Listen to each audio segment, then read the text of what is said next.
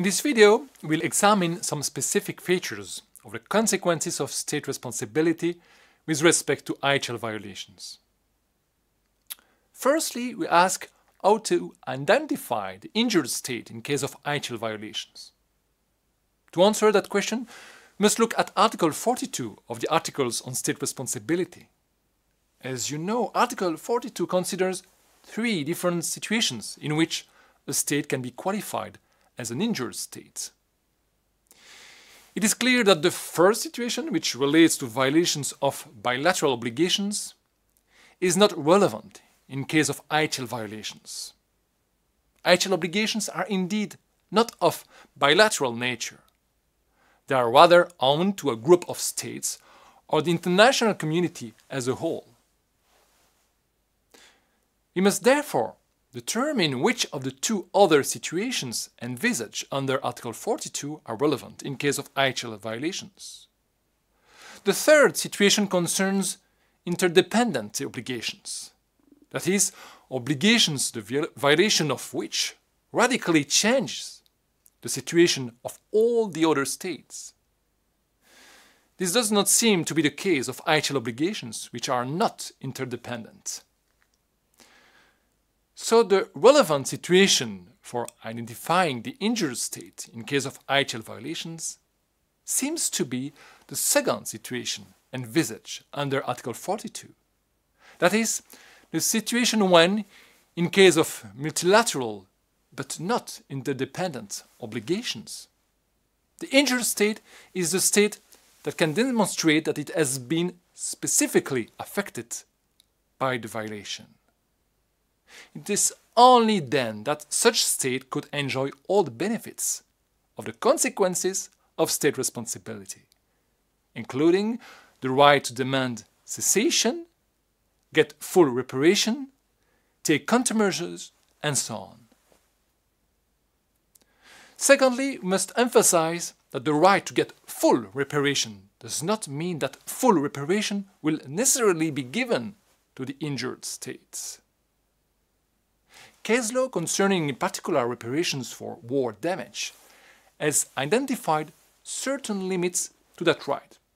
For example, by allowing the responsible state not to pay its whole debt if the required indemnity is self-destructive, in the sense that it would endanger the existence of the state itself, or by recognizing, as the Eritrea-Ethiopia Claim Commission did, that the human rights principle according to which a people cannot be deprived from its own means of subsistence can be invoked to reduce the obligation of reparation.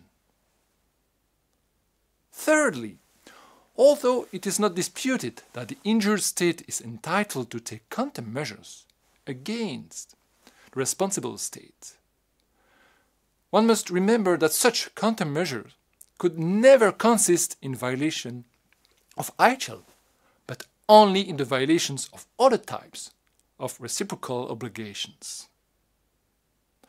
Fourthly, it has been argued in legal scholarship that even states other than injured state, in the sense of Article 48 of the Articles on State Responsibility, could obtain full reparation in their own right, rather than being merely entitled to claim the performance of the obligation of reparation in the interest of the injured state.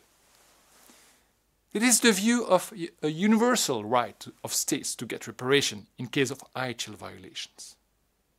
However, it is founded upon Common Article 1 to the Fourth Geneva Convention. Yet, that article was not drafted with the intention of modifying the principles regulating the law of state responsibility. In addition, Article 1 was drafted when those principles were only concerned with the right of the injured states to obtain reparation. Finally, we have seen that the legal consequences of state responsibility do not always merely entail obligations upon the responsible state, but can also create obligations for all states. This is the case when certain fundamental obligations are breached.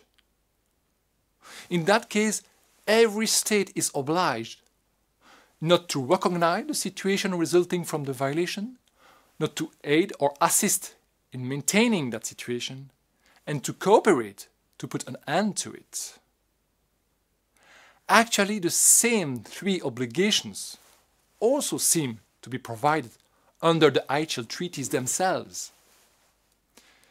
We have indeed seen that they are generally considered to be implied by the obligation set out in Common Article 1 to the four Geneva Conventions to ensure respect for IHL. We know that this is supported by the case law of the International Court of Justice in the Wall case, in which the court seems to have linked those three obligations not only to the law on state responsibility, but also directly from Common Article 1 to the four Geneva Conventions. In addition, we also know that Article 89 of Additional Protocol 1 requires all states party to the protocol to undertake to cooperate with the United Nations in case of serious IHL violations.